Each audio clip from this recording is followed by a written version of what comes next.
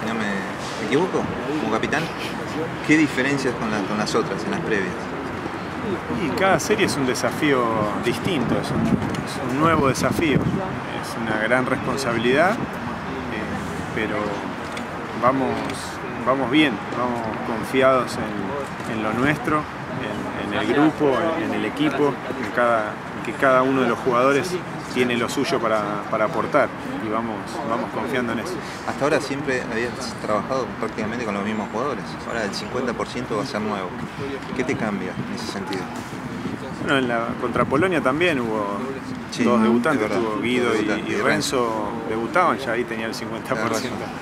Eh, la idea es que esté quien esté en, cada serie, que, el grupo, que el equipo sea, mayor a, cuatro jugadores, que, se sientan eh, muchos jugadores parte de, este equipo, porque, así es. En este caso, Baguido, Fede, Juan Martín y, Juan, pero hay jugadores que han estado en todas las series anteriores, como Charlie Berloc y, Leo Mayer, que no les toca estar en esta, pero que sentimos la fuerza que hacen, sentimos eh, la energía que también ponen desde afuera para, para que nos vaya bien. Eh, yo lo veo como, como, que el equipo es mucho más que, cuatro jugadores.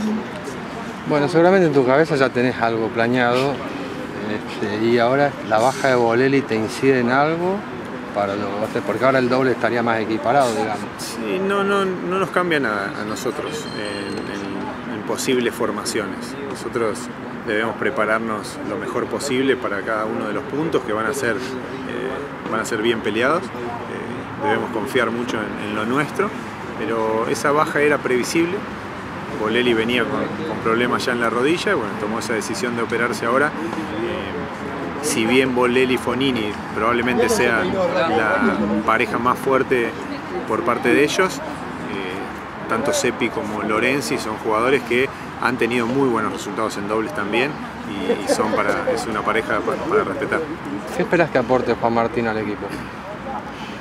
Lo mismo que, el resto, eh, que, aporte su, parte, que, aporte sus, ganas, su, ilusión. Eh, cada uno eh, tiene algo para dar y Juan Martín es, parte del grupo, es parte del equipo, ya ha estado cerca nuestro en, las series contra Brasil y con Serbia, nos ha acompañado también desde afuera eh, con mensaje como lo han hecho otros jugadores en las series de visitantes.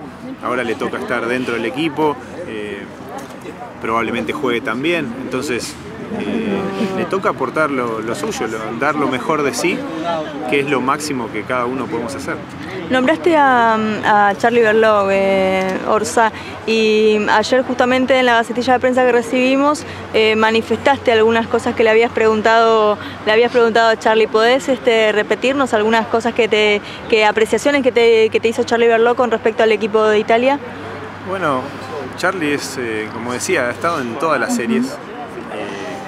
lo hemos convocado cuando estuvo con, mucha actividad, con buen nivel, lo hemos convocado también en momentos que, en los cuales no venía con mucha competencia, pero confiamos siempre mucho en él eh, y lo seguimos haciendo. Eh, el compromiso de Charlie y, de Leo, de Fede, del, Peque, de, Guido, a ver, de cada uno de los que estuvo, es muy grande. Eh, entonces, Charlie desde afuera, vos sabés la energía que, él tiene, las ganas y estuvimos en comunicación porque él también los conoce a los jugadores, ha, jugado dobles junto con ellos, los ha enfrentado, entonces toda, toda opinión ayuda y toda opinión sirve para, prepararse mejor, entonces por ahí vino la comunicación con él. ¿Qué, puedes tomar de la serie del 2014 que ganó acá?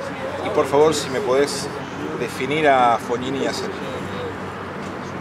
Bueno, que la serie fue hace mucho, que no, me tocó vivirla de adentro, entonces a veces es difícil opinar cuando, cuando uno no está eh, dentro, ¿no? ¿no? sabe qué pasa día a día. Eh, la, viví como, un espectador más. Eh, Fonini estaba en un muy muy buen momento para esa época y marcó mucho la diferencia también. es un jugador de, hay que respetar, es un jugador que le gusta jugar Copa Davis, ahora van a, van a jugar de local, van a tener todo su público a favor, pero esa es una diferencia marcada. que van a sentir la localía, lo cual en general te juega a favor, pero también es una responsabilidad importante que les puede, les puede generar algo de tensión a ellos también. Eh, Sepi es un jugador más frío, pero que está siempre ahí. Está siempre ahí, juega cada punto, es un jugador muy completo, ha ganado, es de los pocos jugadores que ha ganado torneos en, todas las superficies. Entonces es un jugador muy versátil, muy, completo, pero eh, repito, nosotros confiamos mucho en, lo nuestro, en nuestros jugadores, en nuestro grupo, en, el mensaje que, queremos transmitir y eso creo que nos da mucha fuerza y, ayuda a que nos potenciemos. Quería preguntarte sobre Genaro Olivieri. Sí. Eh, bueno, ¿por qué te decidiste por él? Eh, ha tenido buenas actuaciones ahora en Roland Garros, hace rato que lo venís siguiendo, si me lo podrías describir como jugador también. Genaro es, eh, creo que se merece estar en, como sparring en, un equipo de Davis, es de los juniors quien mejores resultados viene teniendo, pero más allá de, los resultados, Genaro es un, es un chico que refleja mucho lo que queremos transmitir de, lo que es el tema valores. Es un chico muy educado, muy respetuoso, es un chico que se esfuerza muchísimo para, jugar. Eh, nos cae de, primera, es, siempre empujando, nos acompañó en la serie contra Serbia desde afuera con otros juniors, con Taberna, Echeverry y por más. Eh, y ahora, bueno, él ya está en, Europa eh, y no juega nada después de, Wimbledon, entonces también eh, era conveniente que elegirlo a él, porque nosotros no, no podíamos elegir a ningún jugador profesional como sparring porque hay muchos torneos la misma semana. Entonces, si bien es una experiencia muy linda, muy fuerte, prefería que sea alguien que no tuviese otro tipo de, compromisos. Y de los juniors creo que es, está en un, en un muy buen momento eh, y se merece estar.